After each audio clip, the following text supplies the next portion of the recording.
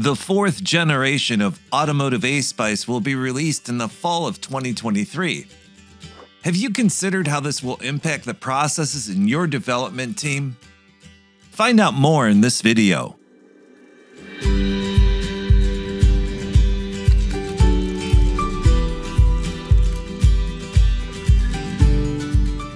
The new version 4.0 brings three significant changes to the previous version ASPICE 3.1. Number one, additional process models are integrated in ASPICE 4.0. With these models, ASPICE 4.0 takes a first step towards mapping the entire mechatronic development process into the future. Number two, the role of strategies is changing. Number three, close to ASPICE 4, intacs will introduce a new training scheme for assessor training. Let's go into detail. Change number one ASPICE 4.0 becomes more inclusive. New processes come into play. The previous version was already based on the so called plug in concept. Development processes for complementary disciplines, such as hardware development, can be plugged in at a domain level. Experts from the assessor community have developed models for the various disciplines. The VDA QMC has chosen to incorporate some of these models directly into ASPICE 4.0. There are plans to adopt other models into ASPICE 4.0 at a later date as well. In version ASPICE 4.0, this concerns 1. The hardware development. Four hardware specific processes enable domain specific development within the framework of Automotive SPICE. Number two, the development of software by machine learning. Here, machine learning specific processes replace part of the software engineering processes. To ensure that the interaction of all mechatronic disciplines ultimately results in a compelling product, there is also a new validation process. This checks whether the stakeholder requirements are actually met. Will the new processes make assessments more complicated? No, because there is now a basic scope with core processes. As critical points, these processes are representative of your process landscape and show its maturity.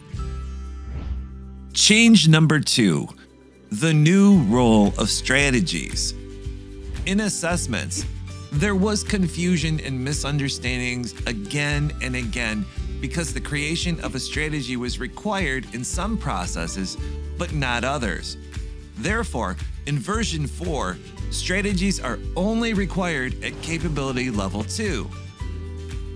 Although strategies have been moved to capability level 2, it is important to note that at capability level 1, you still need to have a vision of how to demonstrate that your product has been verified. For example, for the test processes. There are still many changes at the detailed level. These mainly concern the terminology.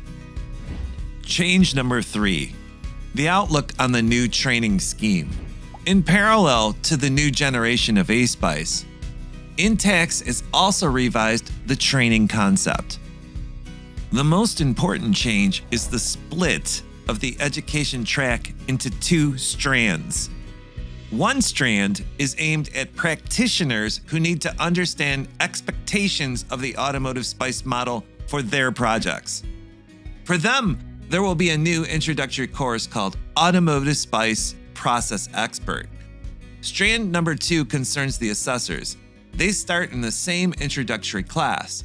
After that, they have to complete additional courses for the respective assessor levels. Assessors who need to assess projects that include work products from other engineering domains, such as machine learning or hardware engineering, must attend a corresponding training course. With these three changes the inclusion of machine learning and hardware engineering processes, the shift of strategies to level 2, and the new training scheme you know the key changes to Automotive SPICE 4.0. For more in-depth coverage of these new features, just wait for the next video. We'll be releasing a more detailed video on Automotive SPICE 4.0 soon. or visit our free update trainings. We'll see you soon.